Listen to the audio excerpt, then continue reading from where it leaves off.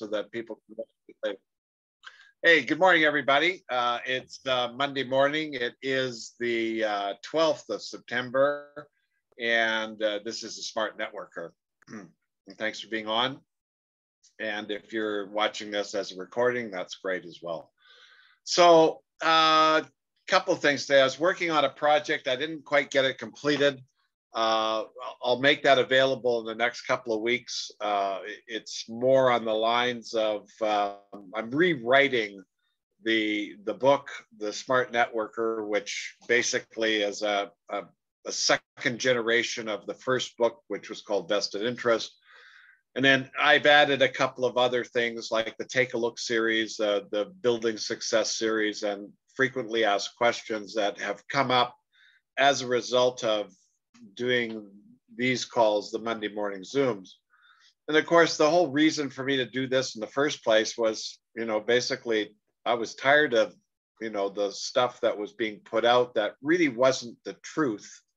It was more like the hype and the, you know, or or what somebody else figured out for themselves, and uh, wasn't something I could duplicate or do myself. And, and that's why I decided, well, there's got to be a way that we can communicate and teach this business so that each individual can then take that information and apply themselves. And here, here's what I found. And, and this is probably a good way to get into these two questions that came up earlier on the call. But we're all individuals and as a result of being individuals, we all have our own way of doing things. Now, this is a very interesting viewpoint because with that, one can listen to somebody else and and look at and, and te, you know try and understand what they did or what what they were working on or how they approach things and think that they've got to do it that way.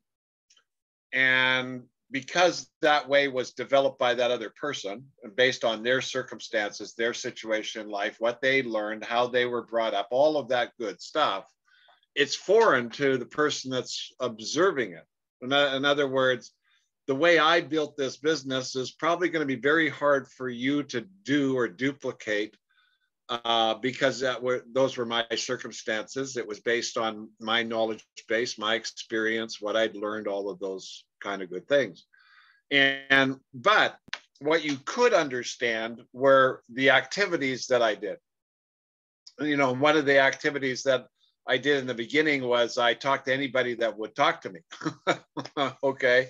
Because uh, I didn't have a crystal ball. I didn't know who was going to participate.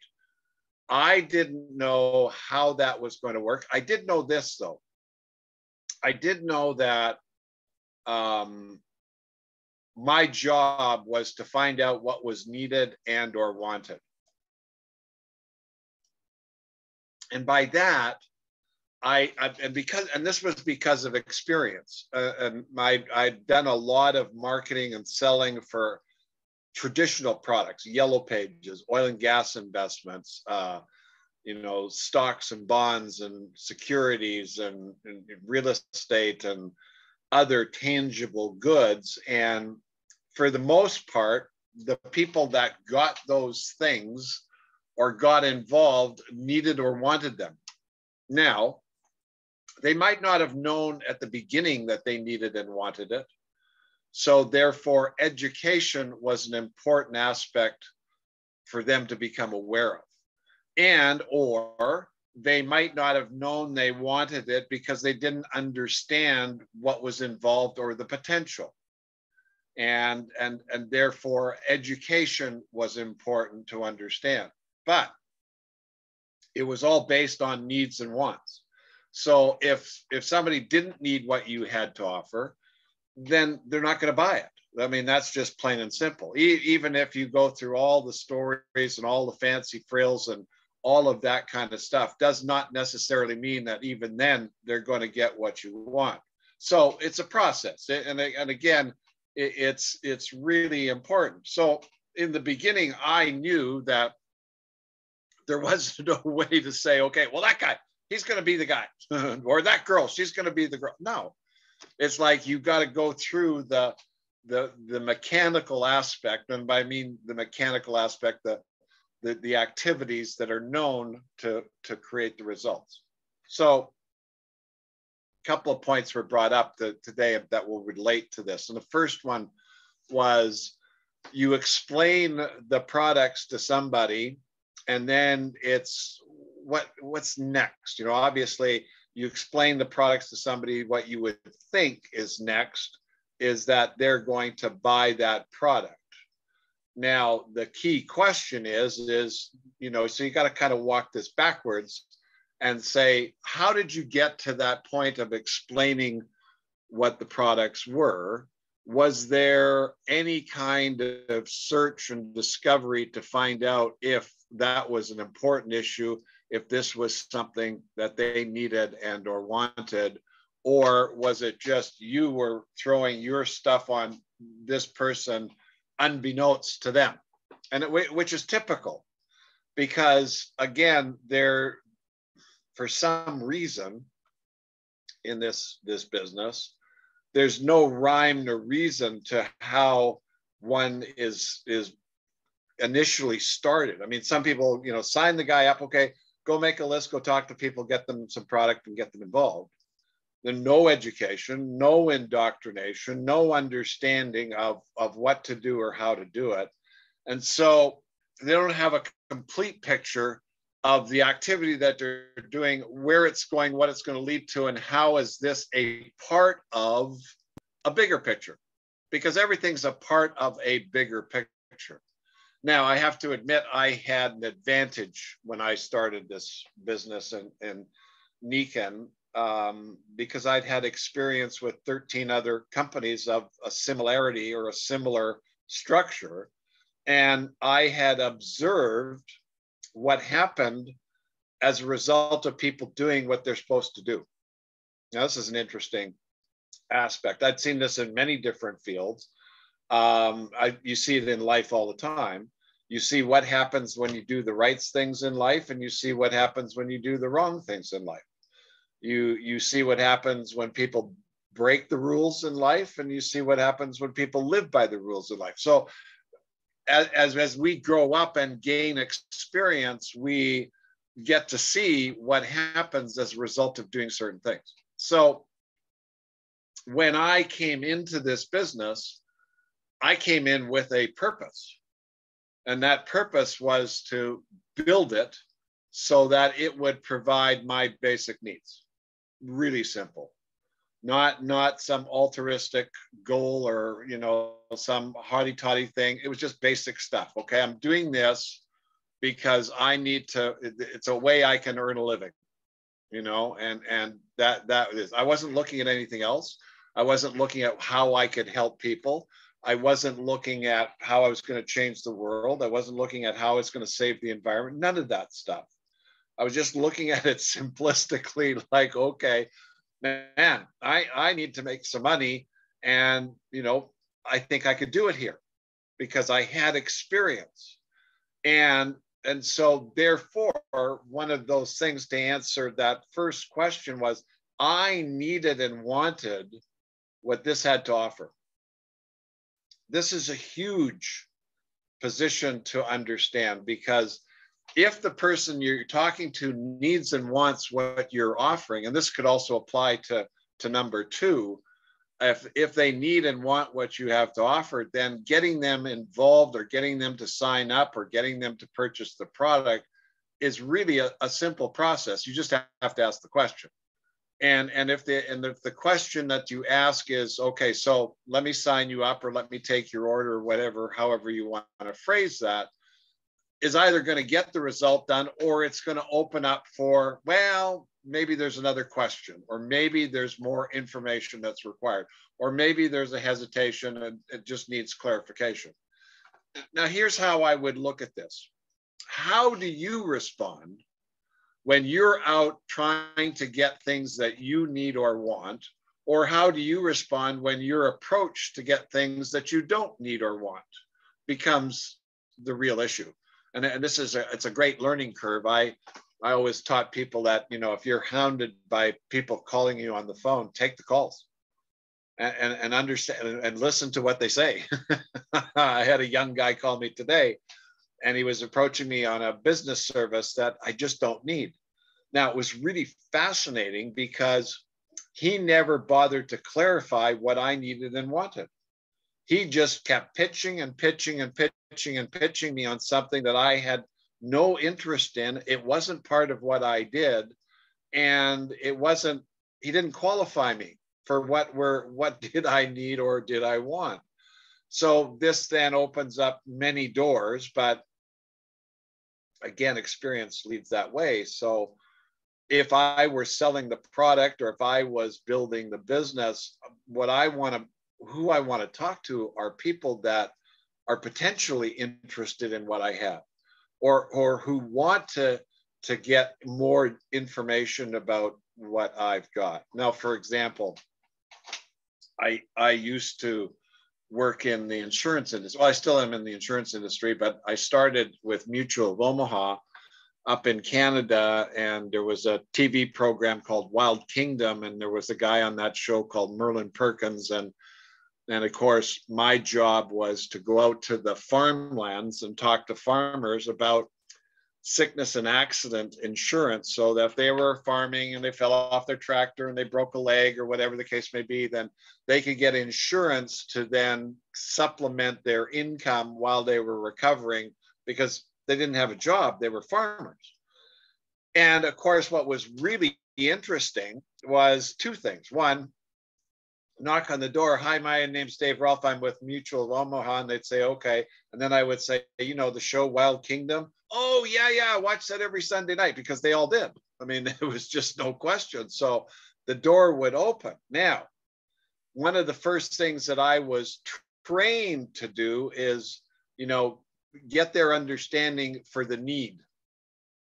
You know, qual- another qualify them for the need for what they have. And of course, that would be okay, you're a farmer, you don't have anything to back you up. What happens if you get sick? What happens if you have an accident? And to create the importance. Anyway, to make a long story short, once that was established, then once you went through a presentation, the end result was getting what I would call this is what you should do is the agreement.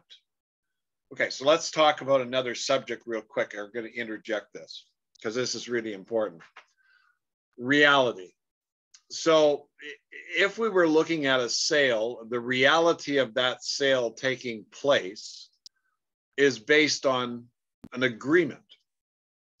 The agreement between you and the person that's buying the product. So you present the product, they are interested in the product, and they agree to uh, uh, buy it, and you agree to sell it. So it's agreement that makes this all happen. So, for example, you're talking to somebody and they say, No, I'm not interested. So, you have an agreement of sorts, not the agreement that you want, but the reality that's going to be created is they didn't buy the product. So, that's the reality. Now, on the other hand, if it was something they needed and or wanted, and you showed them all the benefits and the perks and uh, everything that was involved with it and how efficient it was, whatever the case may be, and they buy the product, well, then you have the agreement to buy the product. So the reality is based on agreement either way. So, in the sense of talking to these farmers in the field, what my job was to create an agreement of their circumstance and situation to worst case scenario. So if you fell off the tractor, you broke your leg and you couldn't drive your tractor, you probably couldn't, you know, farm the land and get the wheat done, or you'd have to hire somebody that would cost money. You know, do you understand that? And then they would say yes. And then they'd start to see the need for what was being offered.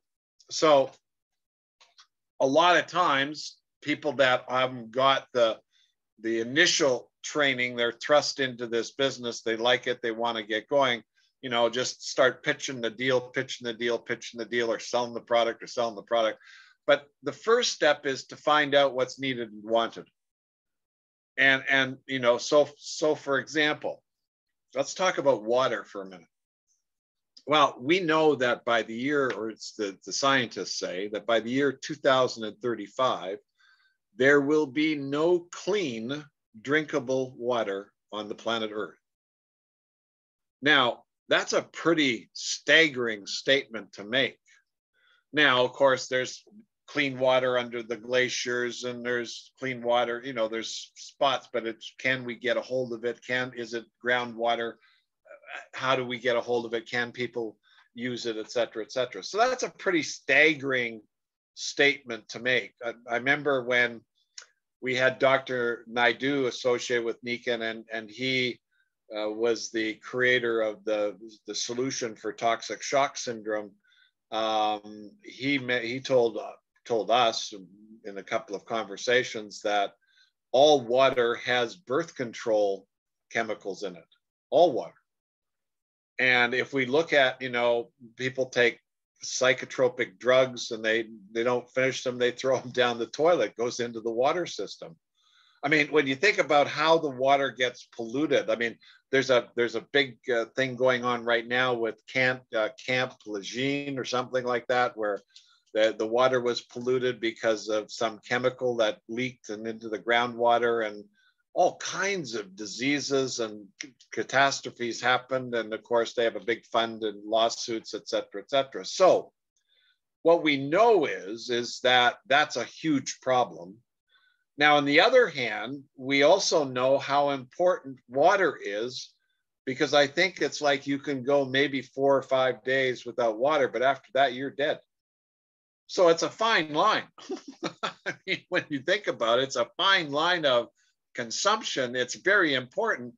And we also know, if you do the right homework, all the problems that are associated with being dehydrated. And again, it's the doctors and the, the ones that really know this stuff are saying that all Americans in, in this country are clinically dehydrated. So they're not drinking enough water uh, to, and the, the system is, you know, your body is a, a bag of water. when you look at it. I mean, I'm, I'm just saying. So a lot of information there. And then, and so then you're talking about somebody getting a water filter for their house that costs $426 retail. And what are they possibly going to be thinking about? Well, they're, going to be thinking about the cost of 426 when if you broke that down and said, well, what's the cost per glass of water or bottled water, or compare it to something else, and where there's a comparison or understanding of information, again, then, oh, okay, I see. So really, this is really cheap water. Yes, agreement.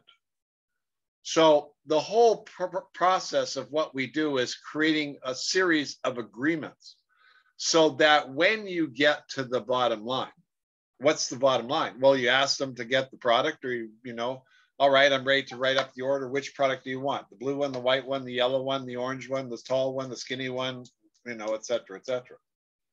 Always offer a choice. And then, and then, are you ready to get started? So when I was building the business, we weren't focused so much on selling products. We were focused on getting others to become distributors. But what we knew is, is that there was a filter. It was kind of like you came in as a distributor, but not everybody wanted to be a distributor. And then that filtered down to being a consumer. So you still ended up with the same end result. There's just a slightly different approach. So for me, it was, are you ready to get started? Now, because I'd had involvement with other products being sold or consumed, I was taught, trained, however you want to uh, talk about it, how to wrap up the transaction, how to wrap up the sale, so to speak, how to ask the question, what to do, how to how to position yourself, and and again, there are other elements that are important. So, if you're in that position, one of the important pieces of being in that position you're controlling the environment. In other words, you're in a place where you can just, okay, you can get the job done. You're not going to be distracted. Now, and, and again, so you wouldn't you wouldn't be talking to somebody and say, okay, well, here's the product. It costs 4.95. Let me know if you want it. You wouldn't do that.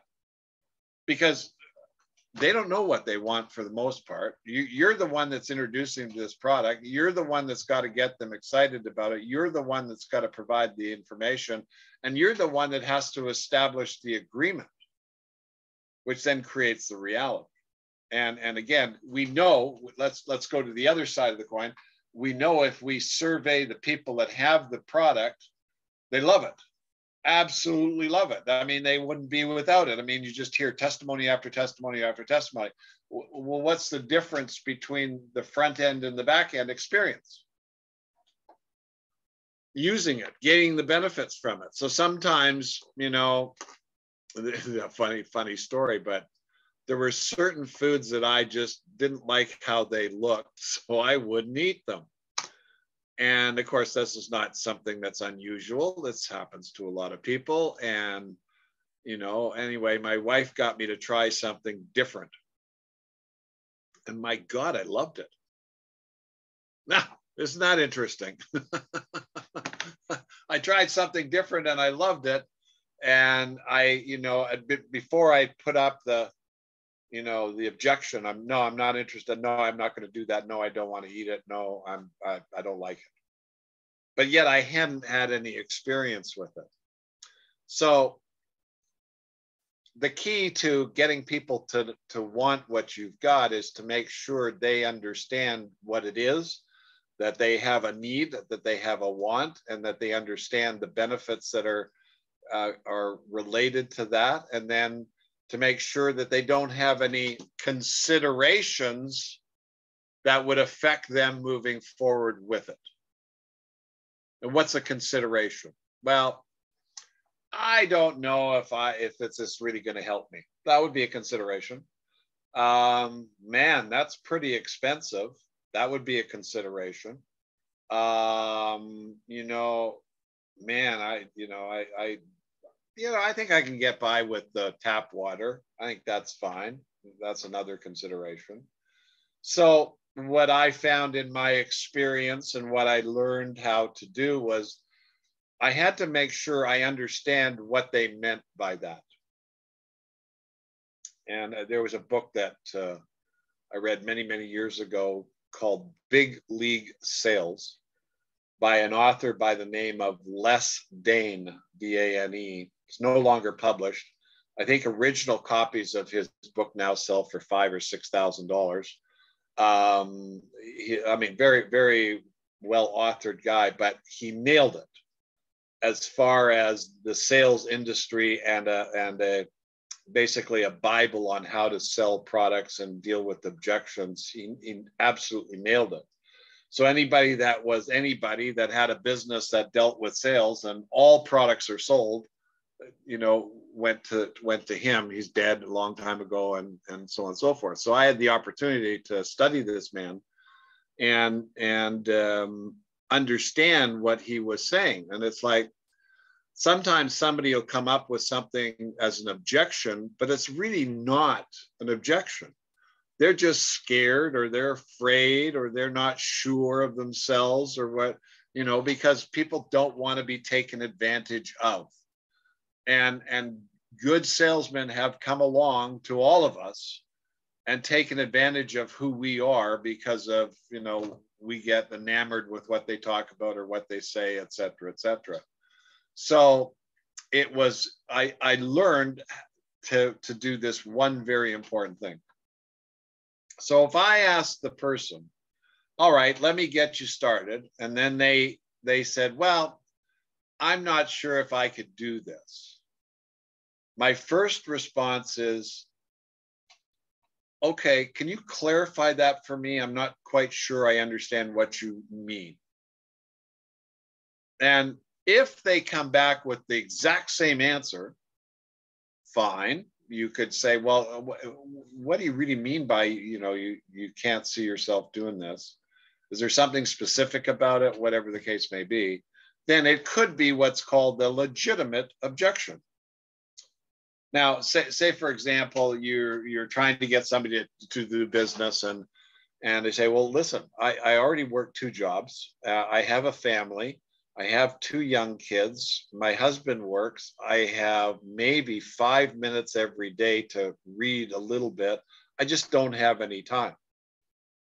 And, and you're trying to get them involved because you want them. Yeah, well, number one, the first thing I'd say, no, they're not qualified. They don't have any time. You see, but the new person might say, well, yeah, yeah, come on, come on, come on, come on, come on. They might not see that. So clarify when somebody so for example, you explain the product, you ask the question, okay, once you've explained the product, do you understand this? Do you see this? Does it make sense to you? Is this something you could you could see using? Could you see the benefit? And what are you doing when you ask those questions? Well, you're getting agreement. If they keep saying, yeah, yeah, I can see this agreement. I could I could understand how to use this. Yes, agreement. I can see the savings in this. That's agreement. So what is agreement what what's the end result of agreements reality so the reality of them having the product and being a customer looks very good and if they come up with something they say well i'm not sure about that. It seems to be awfully expensive. Well okay uh, how do you what do you mean by awfully expensive? Compared to what? I mean you know if it was compared to a chocolate bar that cost you a dollar yeah it would be fairly expensive. You could have 400 chocolate bars. Or if it's compared to a bottle of water, it's actually quite cheap. You know, because you pay a dollar for a bottle of water, but here you could have a bottle of water for four cents. Oh, clarify, understanding creates reality. Okay. And then asking, obviously asking the question, but more importantly is before I would go in on a, on, and this is a whole different topic. It's how, how basically how do you approach somebody? Where do you go? How do you start? You know, there's a couple of videos you can find on daverolfe.com on, you know, what to say to get started. Um, I always started with, you know, let's, what, here's what I wanted to know. I wanted to know where there was a problem in your life. And that's the area that I would tar- try to target. And the second aspect of what I thought about was I knew that everybody was trying to survive on this planet. And by that, I mean they had to have a job, they had to make money, they had to have a roof on their, you know, if, depending on what part of the planet they lived on, they needed a roof, they needed clothes, they needed food, they needed, you know, all of those basic things. So in America, that's a, a, a almost a necessity. So that was my approach. I went there first because I knew that was probably the most important aspect of, of where somebody was at, how they would survive. And again, if you do some quick research, you're going to see that there's a few people at the top and a lot of people at the bottom, and people are climbing this societal ladder of moving up towards the top. And, and for some, it's a big deal. For some, it's a very big deal. For some, it's very important. For some, they really want that kind of stuff. I just sent out on WhatsApp, uh, you know, about the millennials of how important some of this stuff to them is. And, and they're the, the largest generation right now, and they're the ones that sh- we should be talking to for the most part. And, and they have similar needs to what we did, just slightly different. But anyway, you can learn what to do with that and cater to, to those needs. So again, my approach was, you know, okay, so are you happy doing what you're doing and is this going to get you what you want kind of question and you know i found the goose that laid the golden egg. Would you like more information about that? And especially with the people that i talked to. I, that was my favorite you know, one of my lines. I found the goose that laid the golden egg. Well we all heard that story as a kid and we all knew what that was about. And so you know we utilized that. And then that opened the door. Uh, some some conversations would you be interested in making an extra ten thousand a month? Open doors. You know. Now, if I saw somebody that had a physical challenge that I knew I could quickly fix, I would you know deal with that and move on. But what I what I also had in mind was the bigger picture. And, because I'd been exposed to the big picture I had seen what a successful networker had created. I knew what that looked like. I saw people march across the state getting huge checks, having big organizations, selling tons of product as a group. you know, God, that was very appealing. it was really appealing, something I wanted. And for my position at that time, I was stuck between a, a proverbial rock and a hard place. I needed to put food on the table for the family. So it, it was nothing else. And again, that's what was needed and wanted, and that's what I focused on. So, from the standpoint of, of that approach, you know, maybe what I would look at is how are you approaching people? And and how can you tweak that so that you you're going you're going after what you want and and and then creating that agreement versus going after something that may or may not be wanted uh, and is not what you need or want. So that would answer that. And as far as the other aspect of you know i'll tell you a fine story when i was in the oil and gas industry and i was it was telemarketing sent out, we would send out packages, then follow up a week later and present the actual presentation and then ask the person to join us. And I called this banker in Kansas, sent him out the information. He was interested. He wanted to take a look at it. I phoned him back. We had a presentation, which was really just a script. It was storyboarded on my wall. I'd start at the beginning and I'd read it all the way down. Uh, after a few months, I knew this inside out backwards, so I could t- you know, sit back in my chair and I'd be talking to him. Yeah, and then by the way, blah, this and that, and you know, it was totally memorized. But I so I get down the end and I I pitched him on an investment of ten thousand dollars, and I got down to the end and I said, "Let me get you started." Now, I was taught when you ask that question, then you zip it and and I was taught when you you you wait for the response, and the, and and the, the datum was whoever spoke first basically was committed or lost, as they say. And uh, so there was dead silence for five minutes.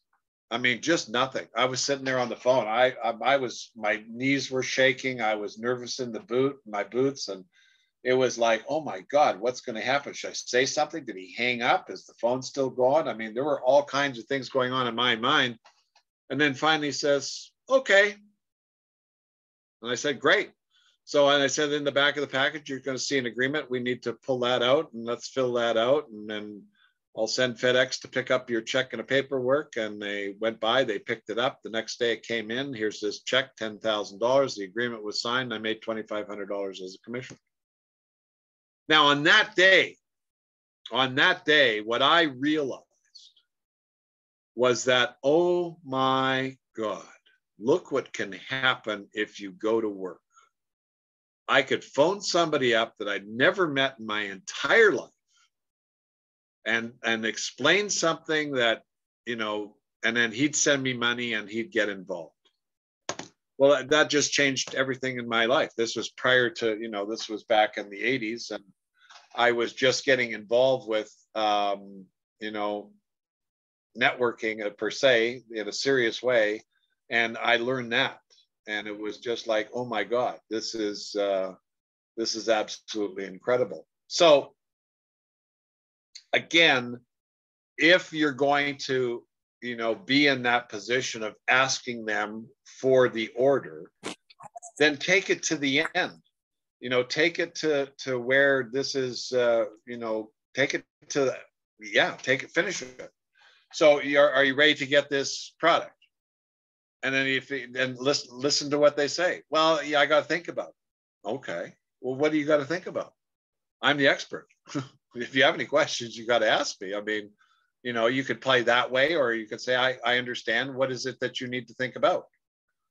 And and then you just take it down and you keep asking that question until they either say okay i'm ready to go or it's a legitimate objection. I don't have anything to pay for this now. I can't do it. I left my wallet. I lost it on a plane. I have no bank account nothing. I can't do it. So you're going to have to call me next week. Okay that's could be legitimate at the other end it could be a great excuse so it, it's just stay on top of it. Now, if if after you've you know tried to do what you've tried to do and it's still not working, then there's then here's what you have to understand. There's a problem. There's an issue. something hasn't been discussed. Something needs to be. So, the best way I know how to deal with a problem is confront it, look at it, face it, deal with it. Because if you don't, it's going to haunt you and bother you. But if you do, then you can at least have a shot at, at solving the problem or dealing with it. Now, it may turn out that that particular person isn't going to buy your product. Fine, move on. Don't waste any more time or it might be a technical issue. Fine, clear it up, move on. So that would be how I'd answer it. But anyway, this was good because it I got to cover a, a lot of points. And and and so the the the bottom line is and, and what what I was working on as the and we'll hopefully get it done for next week is you know kind of like how do you start? Where do you start? What do you do? And, and and here was the most fascinating thing in listening to other people. Everybody, and this is why I wrote vested interest in, in the first place, was it was it was style and technique versus the mechanics. So the example that I used a lot was I was told to put together a list of 200 people. And I didn't have 200 people. So that style, what that person said, affected or could affect how other people interpret that information. Now, what I knew was was that you're continuously going to have to talk to people. So whether you got 200 or 100 or 50 or 10, just start. start talking. And then when you run out of people to talk to, find some more. And then when you run out of people, find some more. Throw an ad in the paper, go stand in the corner, do surveys, whatever the case. Because here's what you need to know that the, the basis of our success is people we need people. So that's a given. So there's no no mystery to it. There's no magic to it. You just need people, and it's not a matter of you need five or ten. You just need people, and just keep going and keep going and keep going. There is other data that you need to understand as far as how it works, and so you find one person. Now this this is really fascinating. In in because of the success that was created in the 90s, we had huge structures that were created by individuals that you know were 25 30 50 levels deep below them. And and so you really got a viewpoint of understanding how important the structure of your organization is. And and here was the bottom line. If there's nothing going on below you you're in trouble. So from a leader's perspective if he has distributors with nothing below them he's in trouble and of course, people didn't pay attention. They just kept marching on. I've got to find somebody else, find somebody else, find somebody else. And then just end up re- replacing, replacing, replacing, replacing. So there is a technology to our business. There is a tech, and that you'll find the answers on daverolfe.com. You'll find the answers in the Take a Look series, in the Building Success series, in the Q&A part, you know, frequently asked questions. And the reason is, is because these, this is what I observed this is what I think. It's it's it's uh, you know I heard one the other day is you know you're looking for you. Well, no, you're not, because you'll never find you. You're unique. you're you're at one of a, a gazillion. You, what you want though is you want to find people that want what you want. That's what the secret is. See, I knew that I needed to make eight thousand dollars a month, and what I what I quickly understood at the beginning was, ah, if I need that and it's made up of people that are building this, I need people that need the same thing I do or want similar things. Bingo. Now, there isn't anybody in my business that's like me. None. I'm sorry, there just isn't. There's nobody like me in my business. And thank goodness that's probably a blessing more than a disguise. But anyway, thank goodness for that. And, and thank goodness everybody's individual and, and has their own story. So the key to your success here is for you to develop your story, your way. The mechanics are simple. You know, the mechanics are the mechanics of the business. It's been going on forever and a day, and it's not going to change any. It's just we have a different audience and different circumstances. Okay, so you have to figure out how to play that game. But anyway, great message today. I'm going to stop the recording and um, So thanks for being on today. We'll see you on the next Take a Look or the next Frequently Asked Questions. This is Dave Rolfe, and this is the Smart Networker. Bye for now.